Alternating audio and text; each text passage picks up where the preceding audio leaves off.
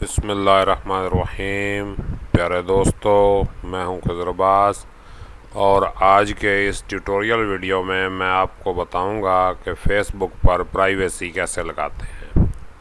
तो ये देखिए, हमारी फ़ेसबुक है। ये फ़ेसबुक का होम पेज निकल चुका है और ये कंप्यूटर पर मैं बता रहा हूँ आपको कि किस तरह करना है। मोबाइल पर भी इसी तरह ही होगा। ये देखें, यहाँ से हम फेसबुक की सेटिंग्स खोलते हैं। ये देखें, यहाँ पे आप क्लिक करेंगे राइट साइड पे। ये आ जाएगा सेटिंग्स एंड प्राइवेसी इसको क्लिक करें सेटिंग्स पे आ जाएँ। ये देखें जी, हमारी सेटिंग्स हैं, सबसे पहले जनरल है। ये देखें, यहाँ पे नाम है। ये आप नेम तब्दील भी कर सकते हैं। लेकिन 60 दिन में एक मरतबा तब्दील हो सकता है। इसके बाद आपका यूज़र नेम है, फिर आपका कॉन्टैक्ट या ईमेल एड्रेस या फ़ोन नंबर लिखा होगा। इसके बाद ये मेमोरलाइजेशन स्टेटस सेटिंग्स है कि आप यहाँ फ़ैसला करते हैं कि आपके बाद आपके अकाउंट का क्या होगा। आइडेंटिटी कन्फर्मेशन ये अगर आपने सियासी पोस्टें करनी हैं या इस तरह की हरकत करनी है तो आइडेंटिटी कंफर्म करनी पड़ेगी आपको। और वो अपने शनाती कार्ड की पिक्स जो हैं आपको अपलोड करनी पड़ेगी। इसके बाद दूसरा ऑप्शन है सिक्योरिटी एंड लॉगिन। तो ये आपको बताता है कि आप कहाँ से लॉगिन हैं। ये देखें, जैसे मैं मोबाइल से पीसी से ऑनलाइन हूँ तो ये देखें, विंडोज़ पीसी सी पाकिस्तान। और दूसरा, मैं मोबाइल से ऑनलाइन हूँ तो ये Huawei Honor, seven A, Faisalabad, Pakistan. ये उससे आ रहा है क्योंकि ये मोबाइल का सर्वर उठा रहा है फोटाबाज का सर्वर नहीं उठा रहा। ये सारी जो है, ये पिछली ऑनलाइन हिस्ट्री ये मुकम्मल अगर आप देखना चाहें तो ये नज़र आ सकता है। और अगर यहाँ पे आप क्लिक करेंगे तो आप सारी आईडीज़ से आउट हो जाएँगे। यहाँ पर आप पासवर्ड चेंज कर सकते हैं, यहाँ पर अपनी लॉगिन इन्फॉर्मेशन को आप सेव कर सकते हैं। ये बड़ी सहूलत वाली चीज़ है, ये मैंने ऑन की हुई है। ये टू फैक्टर अथेंटिकेशन है। टू फैक्टर अथेंटिकेशन का मतलब ये है कि अगर कहीं से भी आपकी फ़ेसबुक को लॉगिन किया जाएगा तो आपके मोबाइल पे मैसेज आ जाएगा और जब तक आप वो कोड एंटर नहीं करेंगे तो लॉगिन नहीं हो सकेंगे।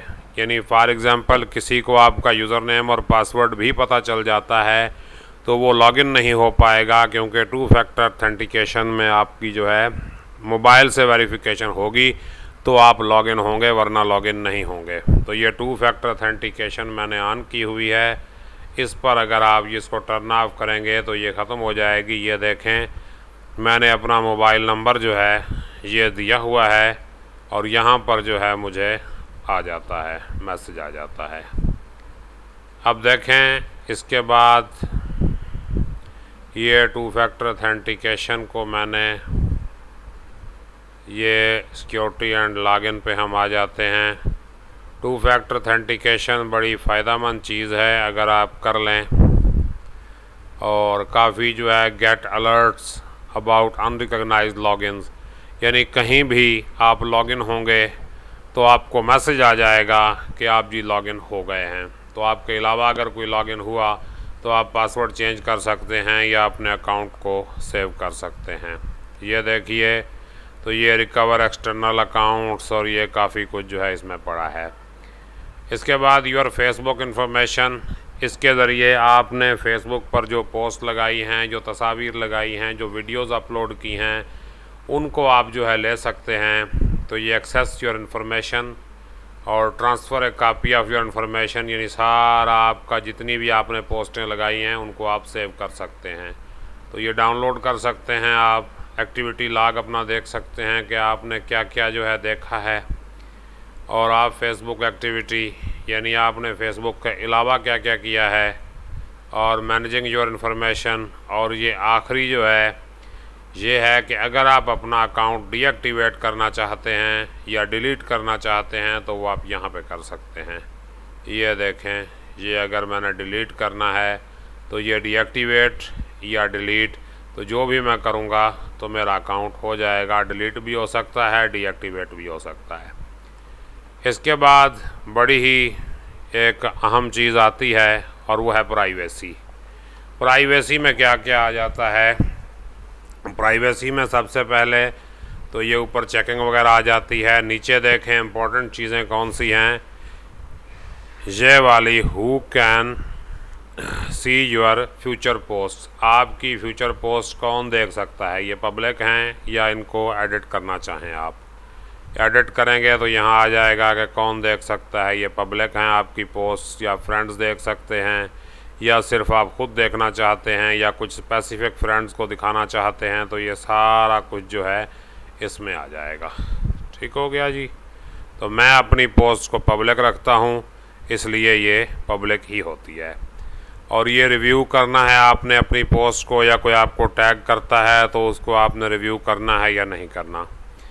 अब आगे देखें, ये एक ऑप्शन पड़ा है how people can find and contact you who can send you friend request आपको फ्रेंड रिक्वेस्ट कौन भेज सकता है? तो यहाँ है एवरी वन यानी मुझे हर कोई फ्रेंड रिक्वेस्ट भेज सकता है, इसको अगर आप कैंसिल करना चाहें तो ये ये देखें. एवरी वन और फ्रेंड्स ऑफ़ फ्रेंड्स यानी दोस्तों के दोस्त भेज सकते हैं या हर कोई भेज सकता है। मैंने ये ऑन किया हुआ है। और who can see your friend list आपके दोस्तों की लिस्ट कौन देख सकता है? ओनली मी ये सिर्फ़ मैं ही देख सकता हूँ। अगर आप पब्लिक करेंगे तो सब जो है आपके दोस्तों की लिस्ट देख सकते हैं। देखें, पब्लिक कर दें। Friends friends except specific friends वगैरह वगैरह, यानी आप। तो मैंने दोस्तों की लिस्ट को पब्लिक नहीं किया हुआ, इसलिए ये ओनली मी है। और who can look up using email address your provided आपके ईमेल एड्रेस पर आपको कौन सर्च कर सकता है? तो वो भी आप लिख सकते हैं। Who can look up using the phone number you provided आपके फ़ोन नंबर पर कौन आपको ढूंढ सकता है?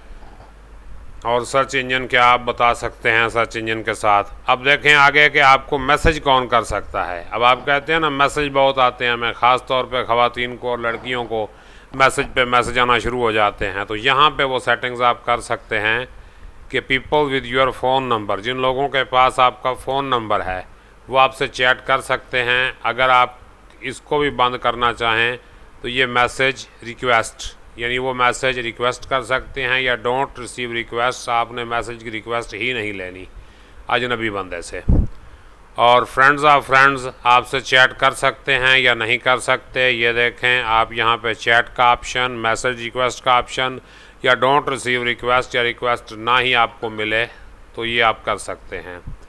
और अकाउंट्स यू फॉलो और जिन अकाउंट्स को आप फॉलो करते हैं या जिनसे आप ऑलरेडी चैट कर चुके हैं, वो आपसे चैट कर सकते हैं, लेकिन अगर आप बंद करना चाहें तो वो भी आप कर सकते हैं। और आपके जो फ्रेंड्स हैं, वो आपसे चैट कर सकते हैं, उनको आप ऑफ़ नहीं कर सकते। तो ये फिर प्राइवेसी पे हम आते हैं। प्राइवेसी के ऑप्शन में आगे आ जाएँ। ये देखें मैसेज आपको मिल गए। आगे फेस रिकग्निशन है, यानी आपने अपनी तस्वीर दे दी बतौर पासवर्ड तो आपका चेहरा जो है कैमरे में स्कैन हो जाएगा और आप वहाँ लॉगिन हो सकते हैं।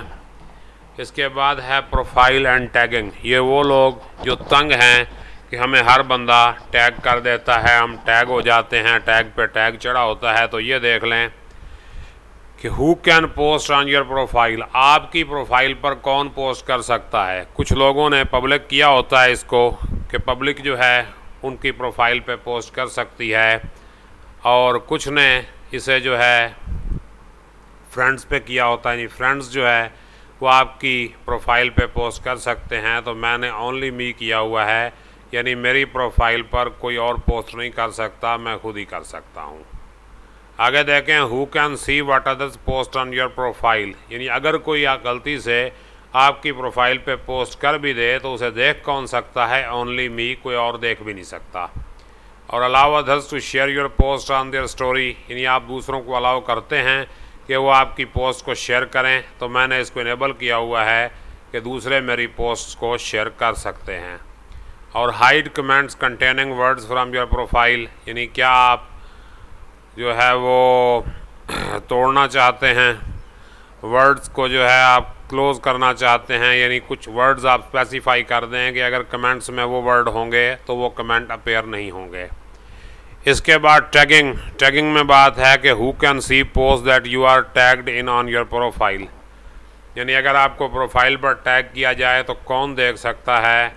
एवरी वन क्योंकि मैंने टैग के ऊपर जो है, वो ऑप्शन लगाया हुआ है। कि बंदा जो है वो मेरी परमिशन के बगैर मुझे टैग नहीं कर सकता। और when you are tagged in a post who do you want to add to their audience तो इसमें फ्रेंड्स आ गए। औरों को भी अगर आप ऐड करना चाहते हैं तो कर दें। ओनली मी कस्टम तो मैंने फ्रेंड्स को किया हुआ है। इसके बाद देखें रिव्यू ये बहुत अहम है, इस रिव्यू को आप ऑन रखें। इसका नतीजा ये निकलता है कि हर टैग की हुई पोस्ट अन्य आपकी प्रोफ़ाइल पर अपेयर नहीं होगी। आपके प्रोफ़ाइल पर सिर्फ़ वो पोस्ट अपेयर होगी जिसको आप अलाउ करेंगे। तो ये रिव्यूइंग को आपने ऑन किया। जैसे ही किसी ने आपको टैग किया, आपको मैसेज आ जाएगा कि आपको फ़लाँ बंदे ने टैग किया है तो क्या आप वो पोस्ट जो है अपनी प्रोफ़ाइल पर अपेयर होना चाहते हैं अपेयर करना चाहते हैं? अगर आप करेंगे तो आपकी प्रोफ़ाइल पे वो पोस्ट आएगी, वरना नहीं आएगी। और ये देखें रिव्यू करना है आपने, ये इसमें मौजूद है। तो आगे आपकी पब्लिक पोस्ट आ गई कि हु कैन फॉलो मी कौन आपको फॉलो कर सकता है? तो ये मैंने पब्लिक किया हुआ है कि जिसका दिल चाहे फॉलो कर ले, क्योंकि मेरे पाँच हज़ार फ्रेंड्स पूरे हो चुके हैं।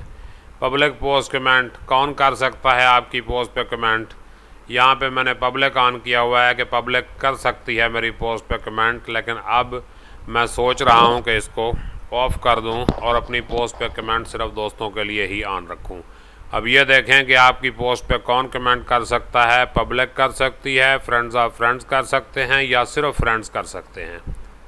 तो मैंने फ़िलहाल पब्लिक किया हुआ है। पब्लिक पोस्ट नोटिफिकेशन पब्लिक यानी सबके नोटिफिकेशन मुझे मिलते हैं।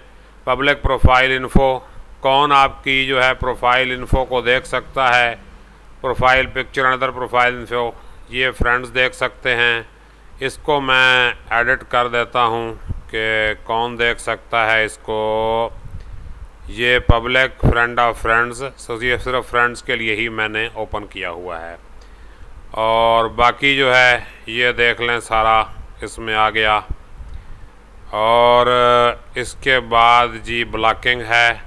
ब्लॉकिंग में ये सारी ब्लॉक लिस्ट आ गई है कि आपने किस किस को ब्लॉक किया हुआ है। तो ये मेरी ब्लॉक लिस्ट है, जो काफ़ी तवील ब्लॉक लिस्ट है।